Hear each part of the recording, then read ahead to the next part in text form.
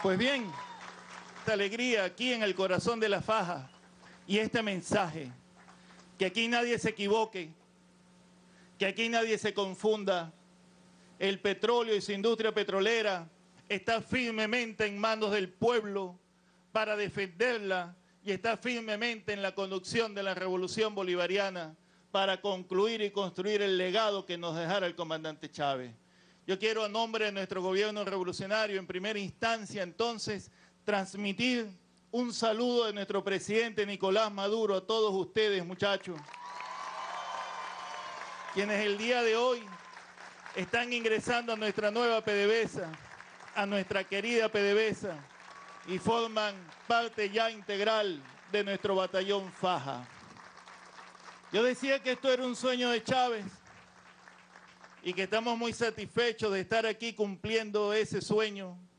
Y como decía Pedro León, Chávez está presente acá con nosotros, está presente en toda la faja, está presente en sus bosques, está presente en sus sabanas, está presente en sus muchachos, está presente en sus trabajadores más curtidos que tengo allá al fondo, está presente en sus instalaciones, está presente en el sueño hecho hoy día una realidad. Nosotros tenemos la inmensa fortuna y además la enorme responsabilidad de haber compartido con el comandante Chávez sus sueños, sus legados y hoy transformarlo en una realidad creadora que permita cambiar de una vez por todas el destino de nuestro pueblo para tener una patria como lo soñara el libertador Simón Bolívar, como lo soñara el comandante Chávez, libre, soberana, amplia, luminosa. El tema petrolero es un tema fundamental. Venía relatando lo difícil que ha sido estar aquí.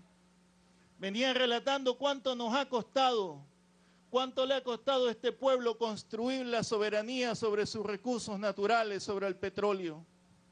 Podríamos decir sin lugar a duda que todo el siglo XX fue el siglo del saqueo, a nuestro pueblo, a nuestro país, le robaron su petróleo y nos convirtieron en un país dependiente, colonia del imperialismo norteamericano.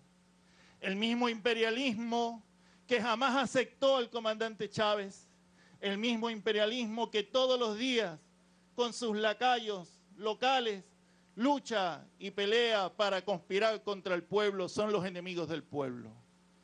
Ustedes muchachos entonces son herederos, poseedores y actores de uno de los principales legados que nos ha dejado el comandante Chávez. El comandante Chávez nos ha dejado patria y nos ha dejado un plan por el cual luchar y nos ha dejado unas perspectivas de futuro.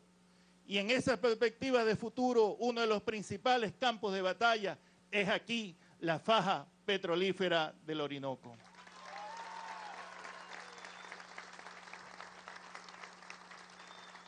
No hay nada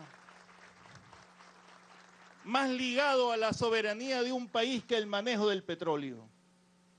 Es un concepto que está íntimamente vinculado a lo territorial. El petróleo es nuestro, está en nuestro subsuelo y debe ser utilizado para beneficio de nuestro pueblo.